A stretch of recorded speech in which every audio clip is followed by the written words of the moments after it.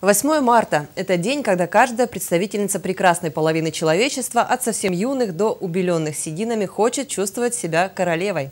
Накануне самого романтичного, приятного и лучшего весеннего праздника мы спросили славянцев, с каким настроением они встречают этот день и что хотели бы пожелать своим любимым женщинам. Женщины вообще у нас в России самые-самые прекрасные. И э, вот в этот замечательный праздник, конечно, хотелось облагодарить всех цветами, чтобы они постоянно улыбались, потому что улыбка женщины – это самое ценное для мужчин.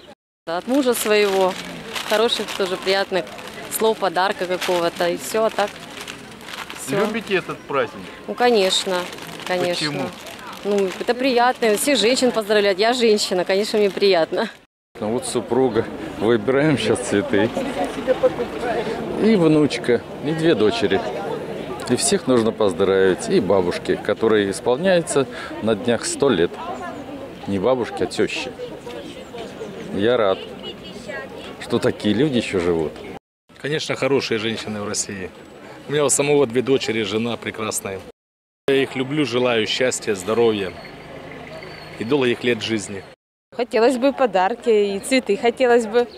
И будут, как вы считаете, Э, вам Будут, будут, будут, конечно. У меня есть и папа, и муж, так что будут. У моей мамы, моей бабушки праздник, э, женщин всех. Им счастья желаю. Главное здоровье, конечно, со здоровьем будет все. Если будет все хорошо со здоровьем, то будет и все тогда. Наши российские женщины самые красивые в мире, это доказано уже, как говорится, природой, по-моему, всей землей. Ну, хотелось бы пожелать всем здоровья, а, крепкого а, семейного счастья, естественно. Ну и пускай каждая женщина надеется, что у нее все будет в жизни хорошо.